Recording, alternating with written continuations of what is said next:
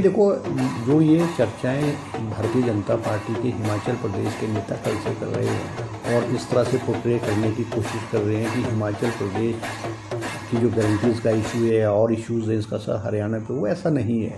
क्योंकि जो राज्य के चुनाव होते हैं, वो लोकल इश्यूज़ पे चुनाव लड़े जाते हैं।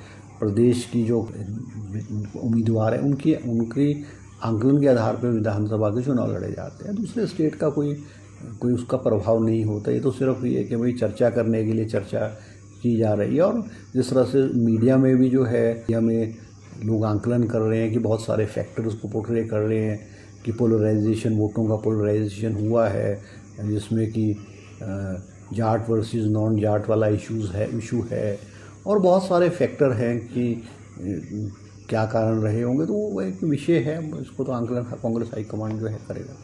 नहीं, जो हरियाणा और जम्मू कश्मीर का चुनाव हुआ है जम्मू कश्मीर में तो जो रिज़ल्ट्स हैं वो इंडिया के हक में है और सरकार बनने जा रही है, मगर हरियाणा में जो एक्सपेक्टेशन थी कांग्रेस पार्टी की, उसके अनुरूप जो है वो नतीजे नहीं आए, जबकि ऐसा लगता था कि क्योंकि मीडिया का आंकलन भी यही था और जो चुनाव के जो एनालिसिस थे के मुताबिक भी जो है हरियाणा में कांग्रेस की सरकार बने। तो मुझे ऐसा लगता है कहीं ना कहीं कोई त्रुटि रही होगी, कोई कमी रही होगी जिसकी वजह से जो परिणाम जो है हमारे अनुरूप नहीं आए हैं।